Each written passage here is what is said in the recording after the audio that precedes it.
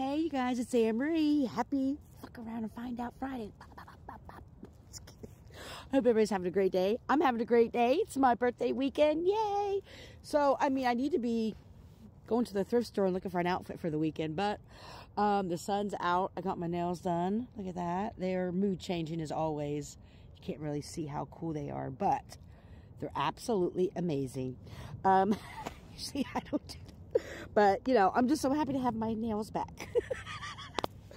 anyway, I thought we'd pull some cards and get some messages of clarity. For those you like it, we're here with some of my ancestors. And I've been getting crazy downloads. This is exactly what I needed. It's, um, I kind of go in hermit mode a couple days before Halloween throughout my birthday because I'm always I'm not projecting this, but this is what's always happened in the last couple years, especially. Um, I'm under heavy spiritual attacks, um, always around this time because it's my season. And so, um, I'm doing something different. and I just wanted to add real quick to those of you who have showed up in my dream space. I can always tell my dreams if it's my spiritual team fighting with me and protecting me and we're going to battle and stuff in the astral realm.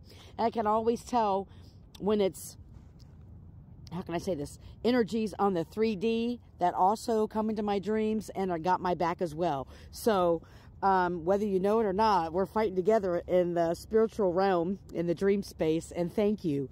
You guys are some savage motherfuckers. you guys are savage. Thank you. Thank you for your protection and stability and compassion. Let's just say that. What's the earth and bone of it? Or do we want to do, trust me, I'm psychic. Those messages have been deep. Let's do the earth and bone, then we'll do another one. Okay. We'll just see. What's the earth and bone of the situation, spirit? Thank you to my high vibrating ancestors, spirit guides, divines, and beings, a source of light energy. I'm so grateful. Thank you to the west, the north, the east, the south, fire, air, water, earth, spirit. Can we please get some messages of clarity for those who would like it, please? Oh, Jesus, a lot. Oh, my gosh. We got four. Number 33, beast, conflict, competition, oppressors. I see where we're going. Number eight, wow. We're in the year of the eight. Uh, blood moon, illusion, uncertainty, narcissism. Can't make this shit up. And then we have number 15, which is six. Wow. So the 33 breaks down to six, two. So six, six, eight, 10 one. Uh, 15, uh, migration, initiation, adventure, freedom. And then 28, flight, opportunity, prosperity, new venture. It's interesting how I laid these cards out. So, underneath the beast, for some reason, um, I put the migration card. So, the conflict and competition, the people or energies that have been trying to oppress you, or this could be self imposed oppression as well. So if we want to go there, we can dig deep into that if you want. um, but what Spirit has shown me is that you're getting ready to come out, or you're being coming out of this conflict. But this new moon, there's a, I mean, as with every type of moon cycle, there's things to release, and um, the veil is super, super thin right now. And so what Spirit is saying is that you're going to be free from this oppression, and this conflict, and this competition that's been going on. There's been a lot of illusions and uncertainty in your life. You may have throughout your life or you're just coming out or recognizing that you've been around a lot of narcissists or people it's that word is used so loosely but people who have narcissistic type of behaviors and actions or whatever. So you may have been being released and this illusion is uh, the veil is completely thin now. That's a weird way to say it but the veil is really thin and so the illusions are being released.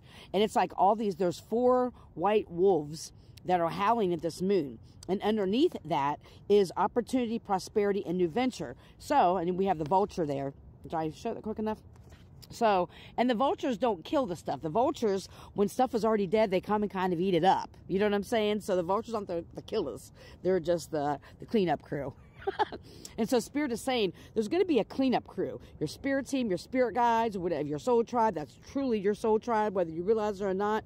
There are people that have your back, and there's going to be new opportunities and prosperity that's going to be on the other side of this illusion that is being dropped right now. Spirit is saying is that you're going to be taking some amazing adventures coming up the next couple months, meaning spiritual type of adventures or meeting new people, having new opportunities. Spirit wants you to be very open minded with the new energies that are coming in. This is why it's important to heal these narcissist wounds or the wounds of all the competition. And you probably don't realize you were in competition with people because there's no there is no competing with you because you're one of a kind.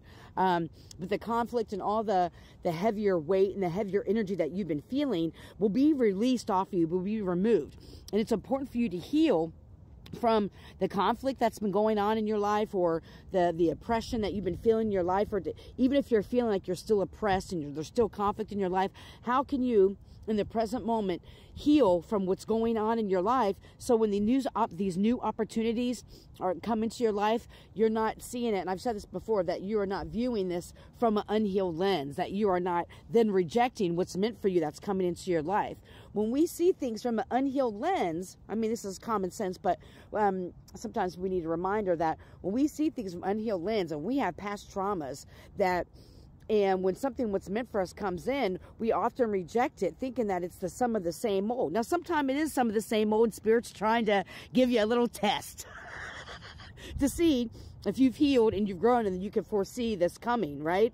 And so, you know, you got to kind of, you know, figure it out. You know, there's no there's no magic sauce for you, right? I mean, you have your own magic sauce, but we all have to figure out our own way. We can take guidance and suggestions, but this is just like an aha moment for you to kind of recognize what are some things some trauma that I incurred or some pain or maybe some behaviors and actions or some unsavory things that I may have picked up um, during why I've been oppressed. Because I know when all this shit was happening to me these last couple years, I picked up some kind of some bad habits and some some behaviors that I had to take a look at. Like, you know what? That no longer serves me. I had, it was like survival. I adapted to my environment and I started to have certain behaviors that was like a protection for me. And then I got to a certain point where I'm like, you know what? Sometimes I need to heal from what, not sometimes, all the time. We need to heal from those things so when what's meant for us comes in, that we're not just jaded and we're like, we, we have our sword and our shield ready to fight every single person or every single opportunity that comes in, that we're suspect. And I say it to a lot of people all the time, like, yeah, I am kind of suspect. I mean, that's my old trauma because of everything that's happened to me. And so I had to realize that not everybody's out to get me. not everybody's going to portray me. And because I've healed those wounds I, and I have insight, I can foresee that coming. So Spirit is saying is that this is kind of, there's going to be a new freedom on the other side of this conflict. Instead of feeling conflict and oppressed, you're going to have this freedom you're going to have adventure. It's kind of like spirits initiating you into this new timeline. And so that's why it's like you can't take those past pains, those past hurts, and the past things, the past oppressions, and the uncertainty that you've had, not only about the people around you, but the uncertainty you have about yourself. The uncertainty you have about yourself and your gifts. We all have them.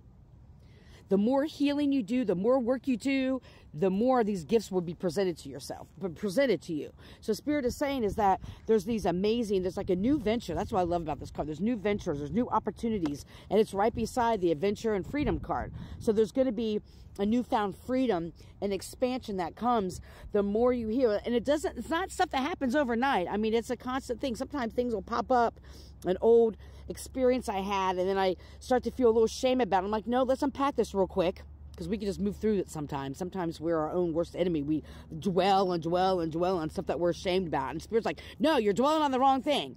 We want you to dwell on how far you've come, how much healing you've done, and to trust yourself, right? So that is the message. Happy new moon. I hope everybody is healthy and happy and full of joy. May you love and be loved. Heal. Don't harm. Have a great day.